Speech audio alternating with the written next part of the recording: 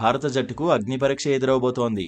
సొంత గడ్డపై న్యూజిలాండ్ చేతిలో ఘోర పరాజయాన్ని చవిచూసిన భారత్ దాని నుంచి ఎలాగైనా బయటపడాలనే లక్ష్యంతో మరో టెస్ట్ సిరీస్ సమరానికి సిద్ధమవుతోంది. డబ్ల్యూటీసీ ఫైనల్కు చేరాలంటే భారత్కు ఈ సిరీస్ అత్యంత కీలకమైందిగా మారింది.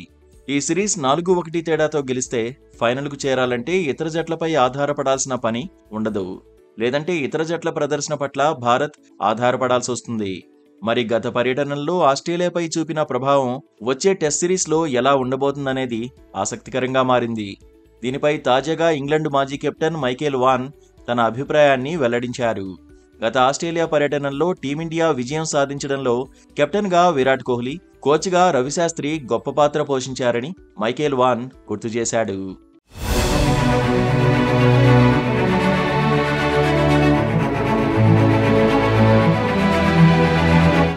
గత రెండు ఆస్ట్రేలియా పర్యటనల్లో భారత్ విజయాలు సాధించింది. అప్పుడు జట్టుకు కింగ్ కోహ్లీ కెప్టెన్గా ఉండగా దిగ్గజ రవిశాస్త్రి కోచ్గా వ్యవహరించారు. జట్టు విజయాల్లో వారిద్దరిది ఎంతో ముఖ్య పాత్ర. మరి ఇప్పుడు జరగబోయే బోర్డర్ గవాస్కర్ ట్రోఫీలో అదే తరహా ప్రదర్శన ప్రస్తుత రోహిత్ శర్మ కోచ్ గౌతమ్ గంభీర్ నుంచి వస్తుందా అని వాన్ ప్రశ్నించాడు. కోహ్లీలా రోహిత్ శర్మ జట్టుని ముందుండి విజయాల వైపు నడిపిస్తాడా? అని అన్నాడు. అదే సమయంలో ప్రస్తుత కోచ్ గౌతమ్ గంభీర్ ఎలాంటి ప్రణాళికలు జట్టు కోసం సిద్ధం చేశాడో చూడాలని వివరించాడు.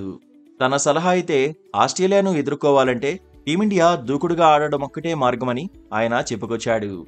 రవిశాస్త్రి విరాట్ కోహ్లీ ఆ పని చేశారని గుర్తు చేసిన ఆయన రోహిత్ గంభీర్ దాన్ని ఫాలో అవుతారా లేదా అనేది ప్రశ్నార్థకంగా ఉందన్నాడు. నాలుగో స్థానంలో స్మిత్ నిలకడగా బ్యాటింగ్ చేస్తున్నాడని ఇరు జట్లలోని నాలుగో నెంబర్ ఆటగాళ్ళ ప్రదర్శనపైనే ఆయా జట్ల విజయావకాశాలు ఆధారపడి ఉన్నాయని వివరించాడు. ఒకప్పుడు కంగారుల గడ్డపై తొలి ఇన్నింగ్స్లో ఐదు వందల పరుగులు చేసేవారని కానీ బుమ్రా కమిన్స్ స్టార్క్ వంటి స్టార్ బౌలర్ల ప్రదర్శనతో మూడు వందల యాభై స్కోర్ కూడా జట్ల విజయాలపై ప్రభావం చూపిస్తుందని చెప్పుకొచ్చాడు.